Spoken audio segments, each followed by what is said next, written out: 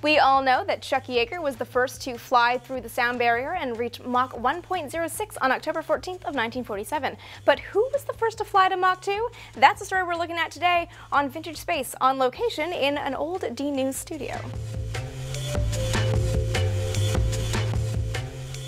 To call flying faster than the speed of sound breaking the sound barrier is a bit of a misnomer. There isn't actually a physical barrier at the speed of sound in the sky. Instead, it's the pressure of the air molecules building up in front of an airplane that creates the difficult environment to fly through. But there isn't the same barrier with every Mach number. It's only Mach 1 that has this so-called barrier in the sky. And once Chuck Yeager broke it in 1947, it became something that pilots were doing routinely. But Mach 2 remained a bit of a challenge for years afterwards, though this one was not a engineering challenge. This was really more of a psychological challenge, as well as a bit of a design challenge.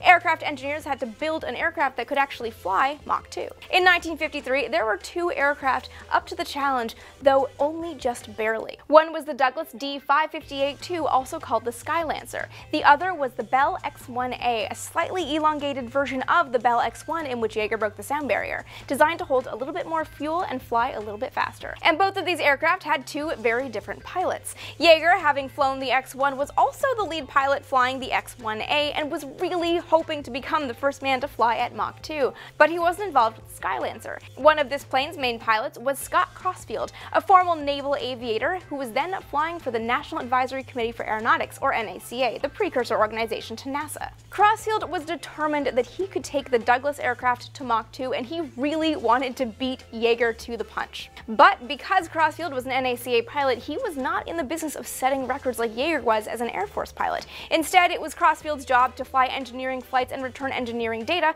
that would ultimately lead to building better aircraft. So Crossfield came up with a little bit of a devious plan to circumvent the problem he was having. He actually appealed directly to the Navy's liaison at Edwards Air Force Base to see if he couldn't make one single run at Mach 2 in the Skylancer. It was a bold move that could have been professionally disastrous, but it paid off.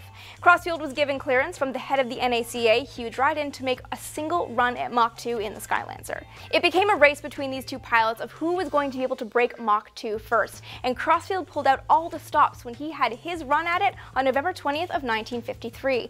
He worked with his engineers to get every last ounce of speed out of the aircraft that he could possibly manage, including cold soaking the plane, which means to let liquid oxygen, super cold liquid oxygen, sit inside the tanks and stretch it out to get just a little bit more fuel into the tanks. It all worked. Crossfield managed to break Mach 2, but only just. He hit a top speed of Mach 2.006. This is actually a really interesting story that involves some really interesting characters, and it's a story that I get into in a little bit more detail in my brand new book, Breaking the Chains of Gravity, which is coming out in the UK on October 22nd and in the United States and Canada on January 12th.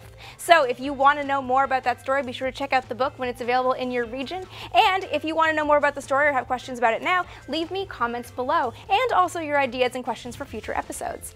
Follow me on Twitter as AST Vintage Space for more Vintage Space goodness every single day of the week. And with two episodes going up every single week, usually Tuesdays and Fridays when my schedule permits, subscribe right here so you never miss an episode.